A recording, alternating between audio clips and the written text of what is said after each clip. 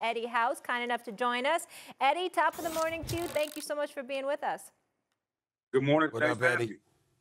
Uh, What's happening? Eddie, Eddie, tell me this. So the Celtics now two wins away from a title. Now this is the same team. There's a lot of talk on needing to break up its core earlier this season. Did you ever see this coming?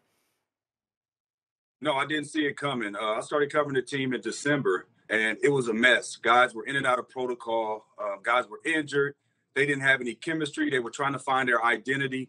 And then it's just like something clicked. And it's almost like when Jaylen Brown tweeted out the energy is about to shift. It seems like guys started getting healthy. The team started coming together. They started playing defense. And then they realized one thing when they share the basketball, it doesn't have to be hero basketball. Jayson Tatum and Jaylen Brown don't have to be the only guys scoring. When they started sharing that ball, and they also had a team meeting, Marcus Smart called them out.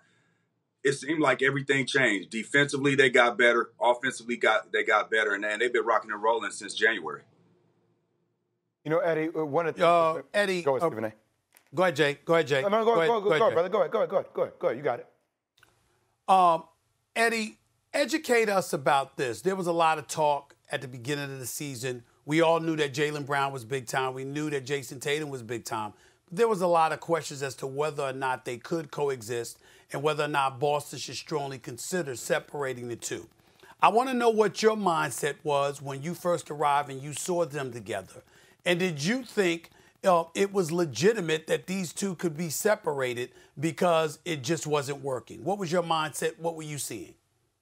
My mindset was you don't want to break them up. They're young. You don't give up on young talent that's that young, right? They're both young, they're both gifted, and the way this league is going is wing driven guys that can guard multiple positions and they can score three level scores. They check both of those boxes. I think what you do is you add to them. They Marcus Smart is a great addition, but I think when they went and got Derrick White and they got Al Horford, those were the missing pieces, the missing links. Now Jaylen Brown, Jayson Tatum don't have to dominate the basketball. Moving Marcus Smart to the point guard, he can make plays, but he also could play off the ball. Derrick White coming in, being able to run the show, and then Horford, another guy I think is underrated, flies under the radar as far as what he's his capabilities and what he can do for the team. A guy that can protect the rim, he can knock down an open three, but then also makes all the right reads, can get it off the glass and push the break and make the right passes. I think you just had to put the right pieces around them. I didn't think you should break them up. They're too young, too young and gifted. I mean, what do you get back for that? I don't know what you could really get back for that except some draft picks and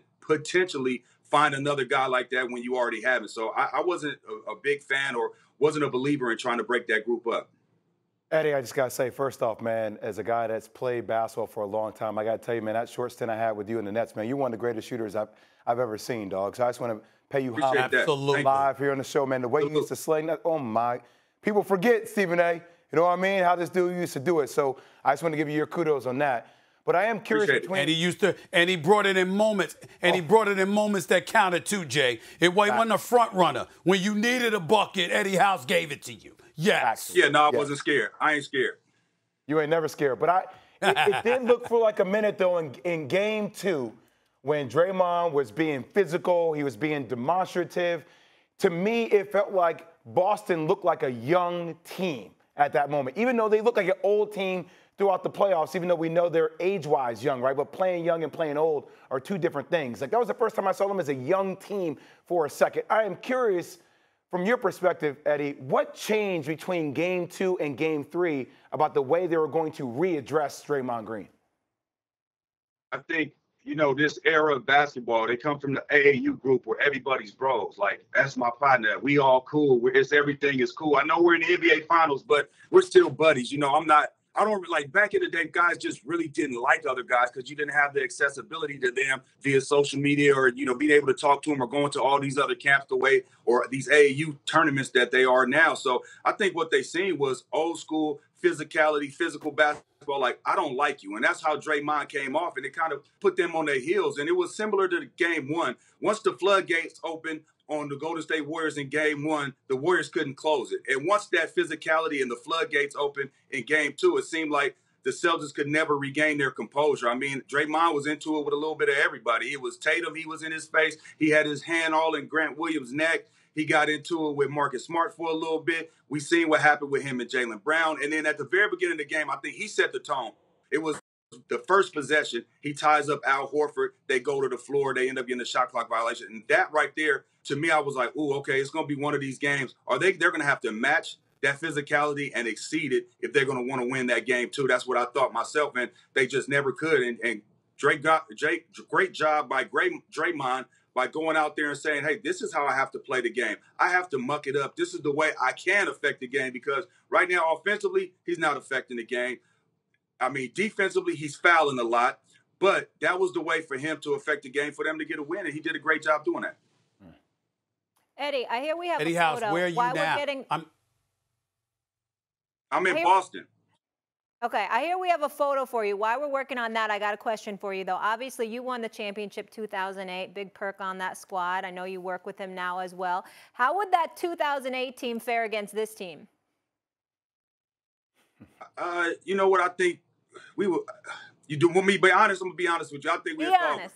I think I think we would dog them out because we had a team full of killers, like from top to bottom. Was nobody weak? I mean, there would be no answer for KG. We already seen what KG did to Horford back uh, when we played before.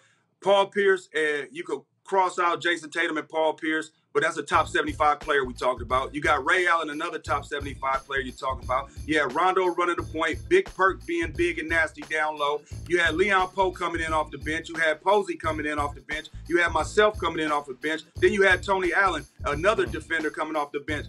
We were one of the best defensive teams, if you really want to, you know, keep it solid in NBA history. One of the best in in the history of the game, and yeah, we would have ran through them.